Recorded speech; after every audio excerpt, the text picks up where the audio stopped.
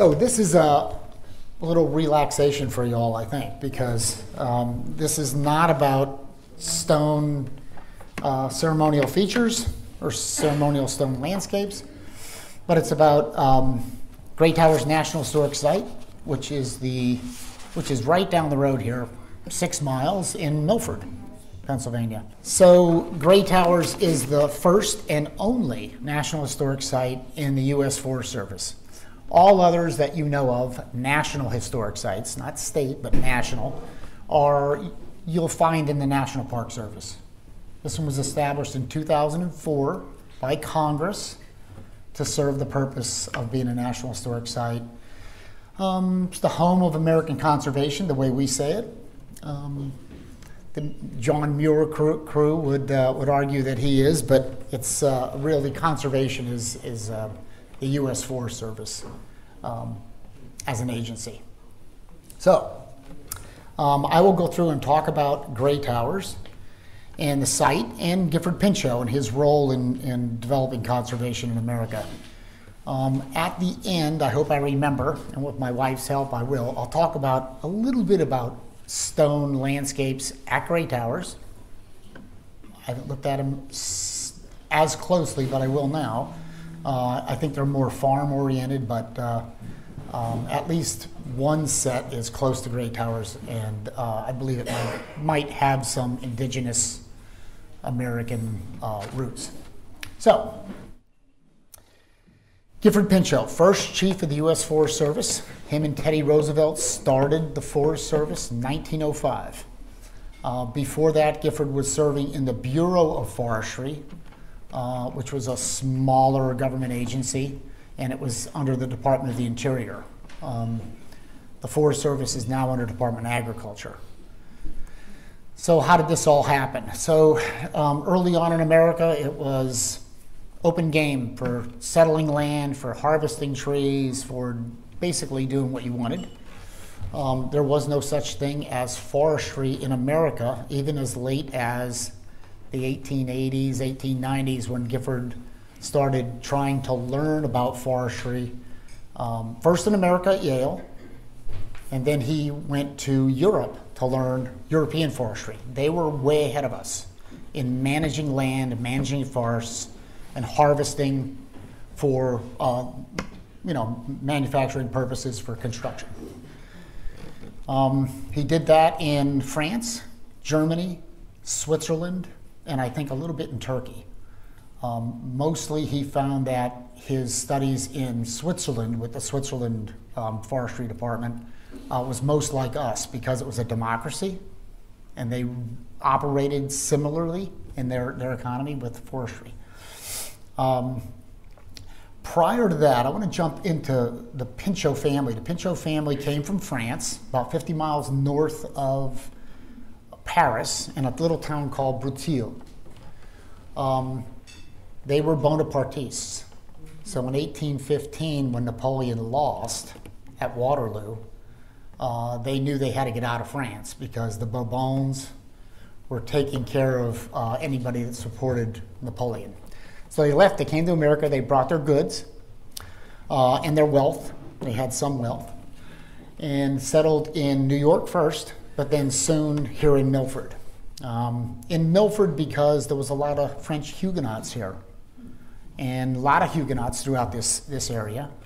Um, so it was a familiar place with the French language was being spoken freely, just like English. So they came here, they started buying land, and ultimately, Gifford's grandfather um, started buying land and harvesting trees. Well, they were clear cutting. Um, he was doing what everybody else was doing clear cutting lumber, sending it down the river to Philadelphia for sale. Not, not to be, uh, uh, not a surprise, but of course it had its devastation on the land. Um, Cyrille did that for quite a few years. He ended up doing that as far as Michigan. I mean, he was buying and harvesting lumber, um, making his money, and, and also doing dry goods ultimately it had that effect on the on the uh, on the land and on uh, what we would consider the conservation of land. So Gifford's father then decided he wasn't going to make his money in harvesting lumber. He wasn't going to make it in Milford. He's going to go to New York City. So he made a fortune by the time he was 45 in selling French wallpaper. Imported, brought it here, sold it. He was in some other dry goods too, but wallpaper is where he made his money. So at 45, he retires to Milford, um, eventually building Grey Towers. So I'm going to move on to that. Okay, Grey Towers is a French chateau. It sits on the hill just outside of Milford. It's quite a spectacular property. Um, I think that the Pinchot owned well over a thousand acres, and even more. I think later on they had quite a quite a bit of property. Um, that is the center of the National Historic Site. There's a lot more to the landscape and the, and the property, but this is what James built, Gifford's father. Gifford ended up inheriting the property when he came back and got married in 1914. Okay. Uh, two pictures here. Here's Gifford on the on the right here with Teddy Roosevelt. Um, they were establishing um, at this point, right about this time, establishing what the U.S. Forest Service would be and what role it would have.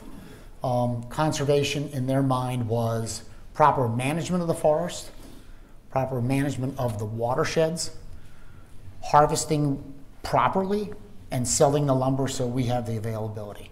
I don't think too many people think about they go to Lowe's or they go to Home Depot to buy lumber. Where's it coming from? Well, it's coming from companies that harvest on Forest Service land by permit and, and selling it off, milling it and selling it off.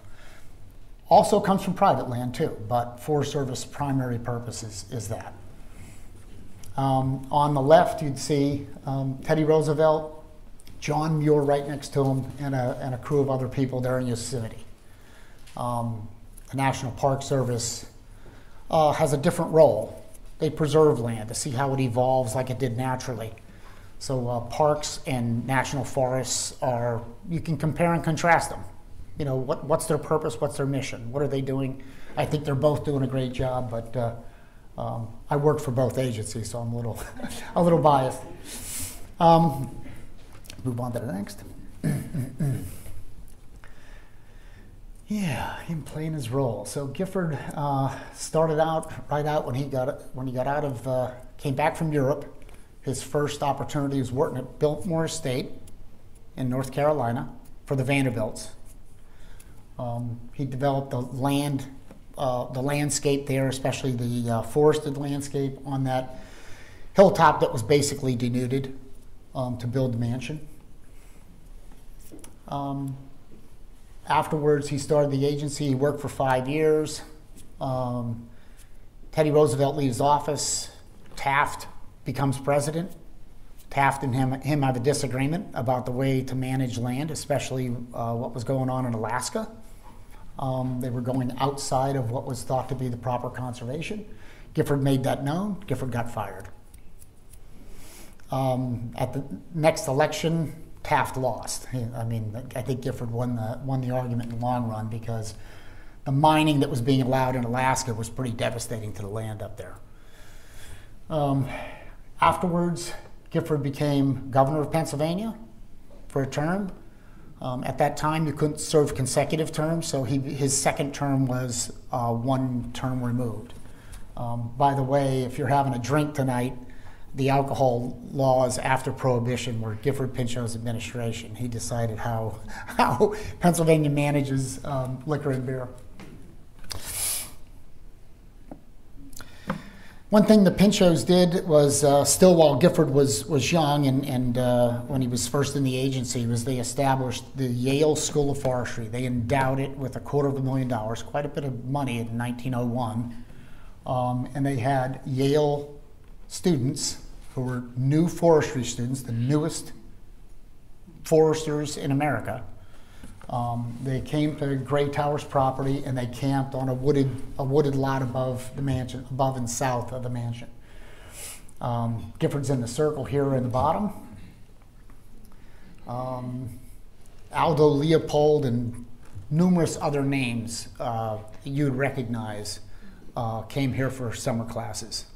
So the summer classes were held here. Downtown Milford has Forest Hall.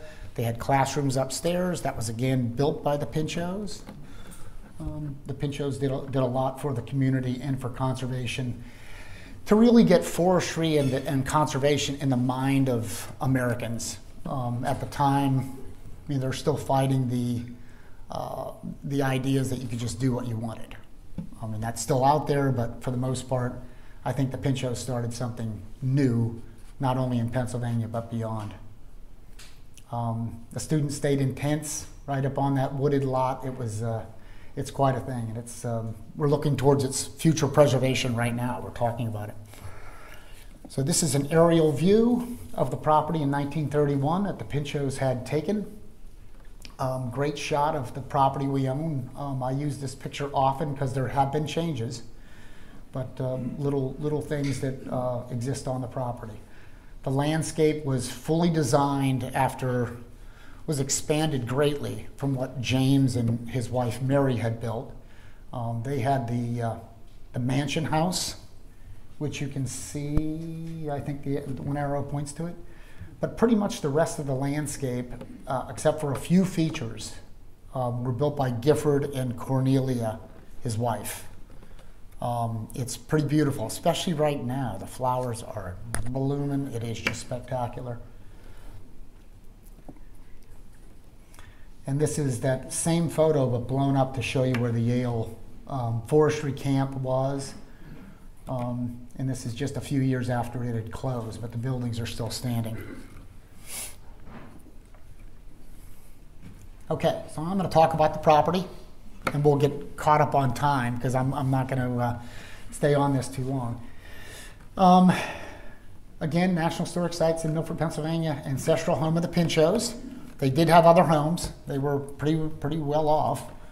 Um, they had homes in New York City and Connecticut, Simsbury, where Gifford was born. That was uh, Mary's side of the family. Um, and they had uh, 303 acres that were designated the National Historic Site. Um, currently, 202 are still owned by the Pinchot family. Uh, they hold it in trust, and um, all the descendants of the one side of the family actually hold that property. Um, in addition to that, they have 1,200 acres known as the Milford Experimental Forest just outside of town.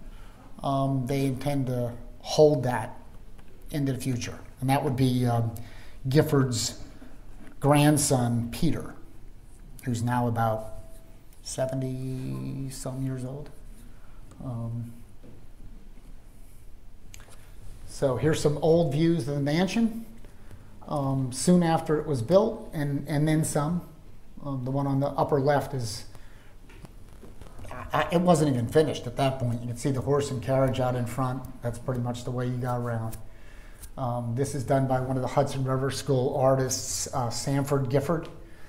Um, Gifford's actual uh, namesake, Sanford Gifford, um, the artist. Uh, beautiful view. I actually love that, that one painting. And then some years later, um, on the lower left and lower right, you can see Milford in the background. That's how close it is, but it's actually in the township. It's actually outside of town, uh, technically. Um, I lost a photo on the left. I don't know how that happened. Uh, that showed the entrance gateway. There's a gatehouse and an entrance drive, um, and I had a picture of that. Sorry I didn't get it. But I love this photo with the uh, luminaire. Um, we had that at one of our Christmas events. In different lighting, the mansion's just spectacular. It really uh, catches light really well. We don't know how it was named for sure, how it was named Grey Towers. Although in Mary's diary, this is this would be James Gifford's father's um, or Gifford's mother, Mary, um, had in her diary how beautiful the great Towers look in the sunrise. You know, so we think that might be where that where the name came. This is the inside uh, of, the, of the mansion. This is called the Great Hall. This is the way you enter into the building. Um, restored to the period. That, the whole downstairs is restored to the, the period when Gifford was last governor. because that's the best documentation we have. We have full photo documentation the family took. Um, al- almost every bit of the furniture, paintings is, is original. The light fixtures have been changed, of course, but um, the rugs are period rugs, they aren't original. This is the library room. They had an enormous book collection. We only have a third of their books on the shelves, the rest are in storage. This is the sitting room, highly decorated. Um, this is like 1934. This was this was done. Um, it of course has been restored. It was repainted, but it's two pictures. It's to the, the pictures that we owned. Grand staircase, beautiful in the house. Great woodwork. Um, it was actually an English architect who helped trim it out after Richard Morris Hunt designed the house. Um, the English architect Henry Edwards Ficken uh, worked with James to make the house the way they wanted it. We believe it was supposed to model the Pinchot home in Europe um, that they left behind after in 1816. This is the third, second, and third floor halls. These are great rooms right in the center of all the bedrooms. It really makes a nice meeting meeting place.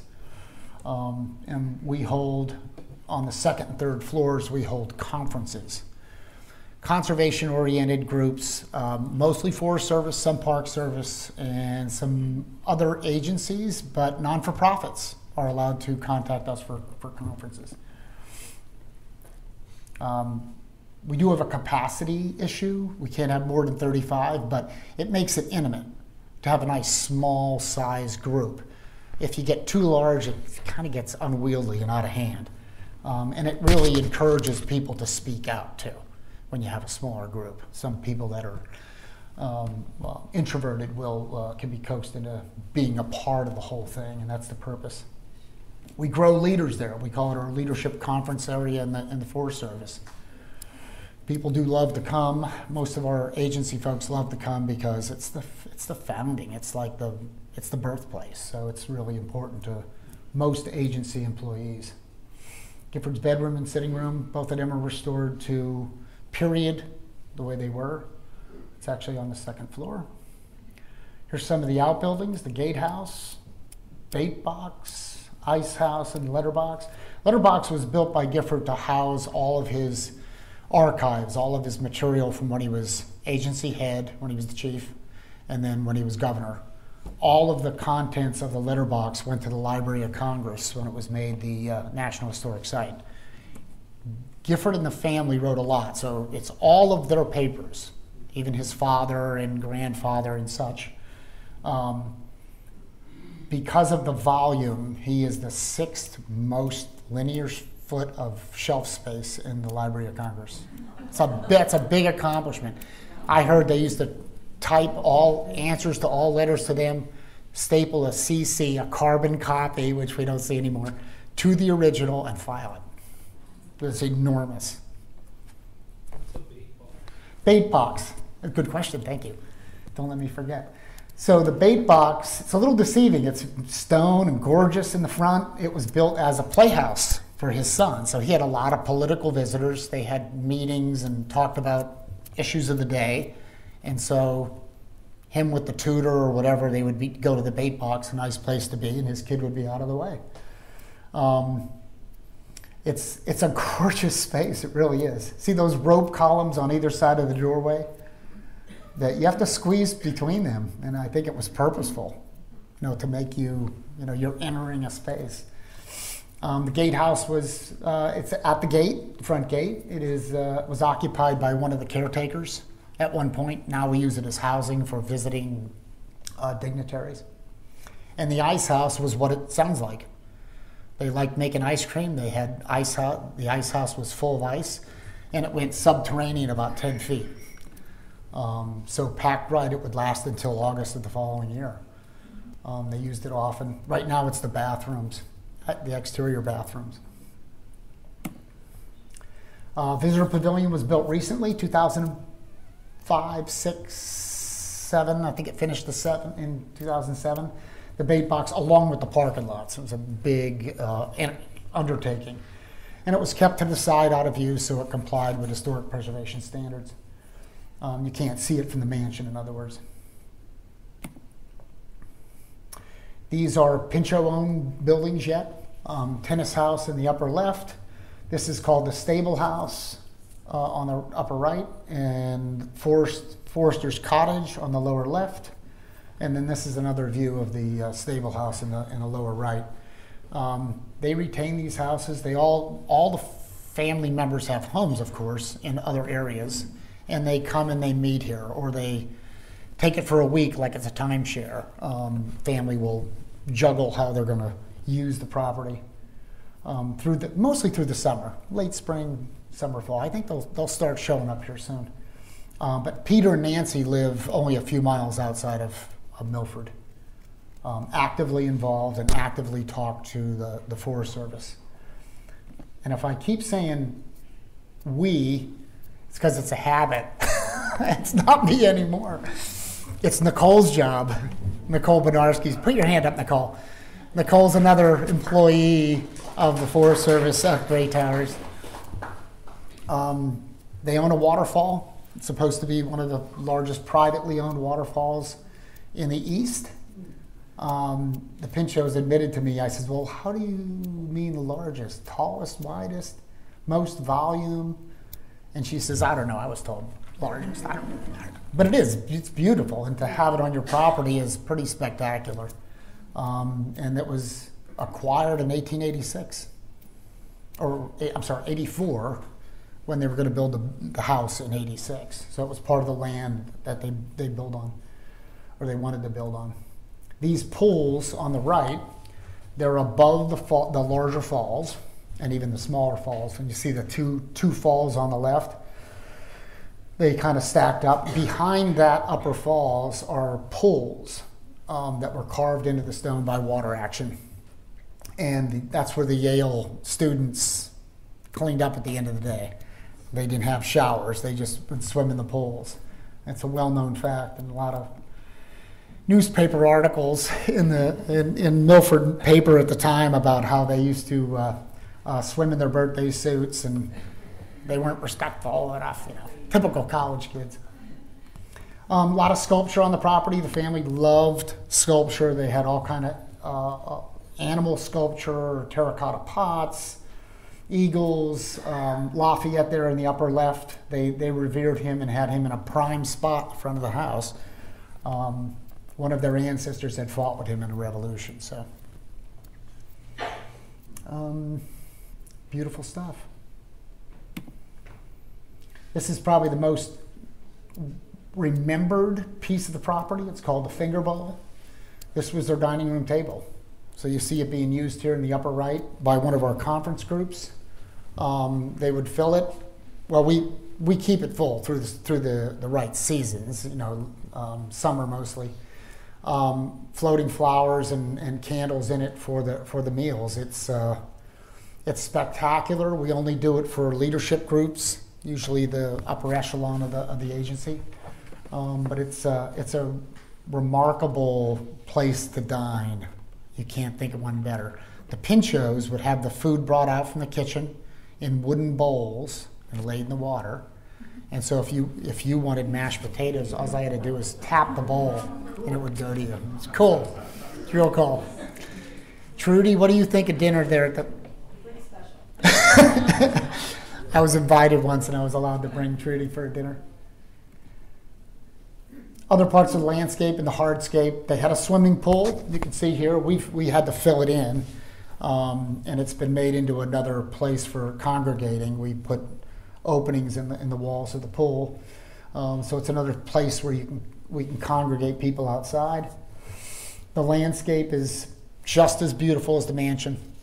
It really is, right? Like I said, right now with the flowers, spectacular. Um, they did geometric figures. We have our star terrace and star diamond terrace, uh, the marble court. Um, they did, uh, you know, uh, create with stone. They created like water type reflective um, areas, um, water features. They had like seven water features on the property. Um, this long pole is really cool because it's an optical illusion. 18 inches on this end, and it's only 8 inches wide on the other, so it creates this deep, deep view. And that also happens with the plantings. The plantings narrow, narrow in. So the landscape architect that worked with Cornelia Pinchot, um, Cornelia demanded it because she would make corrections and changes. Um, but they really worked real hard. Chester Aldrich was the main landscape architect at Grey Towers um, over the years with Cornelia, and it just uh, they did a great job for such a small space around the mansion. It's really spectacular. They had a walled garden for flowers and vegetables. Um, it's about two acres, and um, they used it well. We don't use it too much because the uh, side of the family, it's not divided; it's just open. So um, we can't keep people out of that side. So we we allow people to look in, but you can't go in and meander just yet. We're working on that. This is downtown Milford, right at the red light. This is the Pinchot home before the mansion. Okay, this is a right, right at the corner in downtown. It was built early and then bought by the Pinchots and, and uh, developed further. Um, Forest Hall on this side, you can see the stuccoed part of the building. That's Forest Hall with the classrooms that were upstairs for the, for the uh, Yale students. Uh, the original post office, the Pinchots built for the community. And then this, the column, the building next to it, the Greek Revival building, is their original store, which was razed uh, to build Forest Hall. Um, beautiful architecture. There's Forest Hall. And here's the upstairs part that is uh, a new owner, so the antique shop has been moved out. Um, so you can walk in and see art exhibits, and it's wide open, beautiful space. The Pinchots brought a lot of people to their property. Um, horseback riding was, was a favorite of, of theirs, um, but having uh, socials, ice cream socials, um, especially when he was running for office, uh, the community was heavily involved in, in uh, enjoying great Towers. And then we have conferences. I wanted to make sure I mention that. Um, that's the end of the show. But if I can, um, I wanted to talk about um, tribal relations. I was a tribal liaison for the Forest Service at Great Towers. Um, even though we have a small property, we're right smack in the middle of the Lenape homeland. Um, and uh, Nicole Bernarski is now taking over that role. Thank you, Nicole, for doing that upon me leaving. Um, and part of what federal agencies do is interact with federally recognized tribes. There's three federally recognized Lenape tribes in domestically in the United States, and then there's two in Canada, and we interact with them primarily. And so the, the three that we deal with are the Lenape, the uh, Delaware Nation, they're in Anadarko, Oklahoma, Delaware Tribe of Indians, and they are in Bartlesville, Oklahoma, and then the Stockbridge Munsee in Wisconsin. Uh, the two in Canada we don't interact with. We do know of them. I've talked to them, but we, we don't carry on business with them because they're outside the country. Um, they're, um, and we federally recognized tribes. There's 540 some across the United States, Canada, and Hawaii. Um, they go through a strict process of being recognized. Um, it's a seven point process, and the Bureau of Indian Affairs carries that out. So I heard us talking about tribes. I don't know who's tribal in here, and uh, all respect to y'all, but um, we interact only with federally recognized tribes. There are treaty rights, there are responsibilities the government has to recognize tribes. And as federal employees, we have to interact with them and them alone. Um, it's a good role. Um, we recognize that there are people who stayed behind, married out of the tribe, and stayed, did not follow the tribes westbound as they were pushed uh, uh, westbound. But um, for the most part, the tribes that have the history of being tribal, they know their history, they know all their leaders, they, they can prove all their background, they know who signed the, doc, the treaty documents.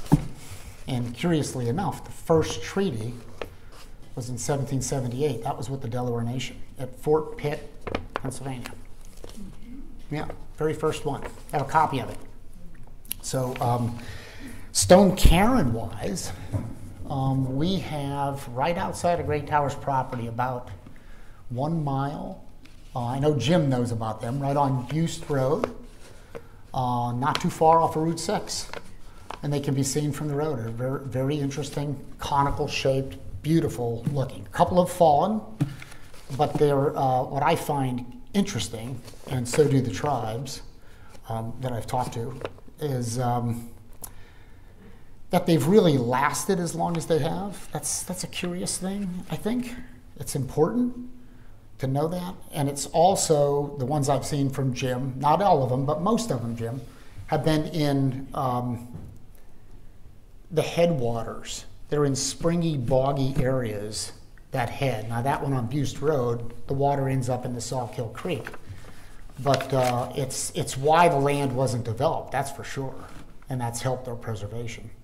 I, uh, I look forward to learning more about these, and uh, I think it's fantastic.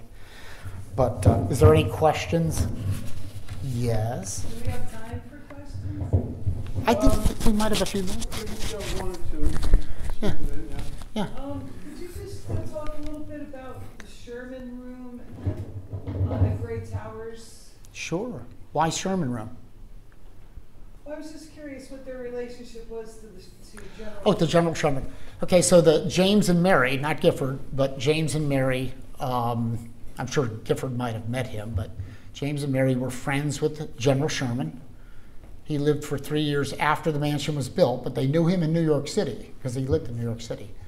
Um, I think it's really interesting with General Sherman. He had evidently been to the house, stayed there. They had a room named for him, and there's a tree on the property since been removed. It's since died, and we had to remove it. But uh, that he planted a Sherman maple tree. Right. Um, but anything else that you're? well, they must have been very close with him, or he must have stayed there quite often if they named a room. He had three years. So 1886 it finished. He died in 89. Oh, I see. So it's only you know, but it might have been an important enough visitor that they said, "Hey, this is your room," you know. Yeah. Also, Um, there was a, you didn't show the sculpture of Napoleon? No, I did not. Yeah, but uh, I just heard recently that somebody told me, and you know, it's a pretty much full um, sized uh, sculpture of Napoleon that would be in the letterbox. Uh, and that the cops were called up there for something, and then they walked into the letterbox and they almost shot the No, it wasn't wasn't letterbox. It was in it was in the ticket tower in in the mansion. And yeah, there's a full size is is done by um, Thompson. Launt Thompson did it. Launt Thompson's a very famous sculptor. Um, and evidently James was friends with him too. He was friends with everybody in New York City. But anyway, he um, he had him sculpted, but it's different. Say so. Launt Thompson created a different type statue than is seen with, with Napoleon normally. So normally, you know, you, you're familiar with the foot out and the hand in the shirt, right? Uh, this is very. His hands are behind his back, and he's looking down, and he's very pensive, right? He's like he's contemplating. So this is after he lost at Waterloo. He's in exile. Uh, Thompson depicted him really well. I, I heard that from a sculptor who said, "Oh, look at the way he sculpted him. You know, it's different." So yeah, yes. Yeah, I was at the New York State Archaeological Conference last weekend, and there was a speaker, in fact, he was the guest speaker. He spoke about, um, Napoleon's older brother, Joseph, having an estate on the Delaware River in Bordentown. Yes. Any connections? That's correct. Um, I know that uh, when Lafayette did his grand tour in 1884 85 in, in America, I don't know if you know about that. It's a pretty interesting story about Lafayette touring America in, in 84 85. But he stopped and stayed with him in Bordentown. That's recorded in his, he had a, a secretary record all of his stops and starts and speeches. Just real quick, if anyone's interested, next weekend, they're having a grand opening of Napoleon's brother, Joseph Bonaparte's, the gardener's cottage down there. It's the only part remaining of this huge estate. Fantastic, yeah. No, I didn't know that. Theodore Greenway, so, yes. Yeah. Yes, sir. The Pinchots name, I believe it's a General Sherman, uh, Redwood? Uh, no, I don't think they. I don't think they did that. But yeah, you, I'm aware that that that's the case. And what's, and what's the meaning of bait box? Bait box. Well, um, his he called his son Mr. Fish. Gifford was a big fisherman and hunter, right? And he called his son Mr. Fish.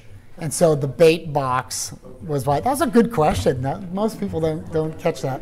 That's good. We'll have to call it there. Thank you very much, Ken. Thank you.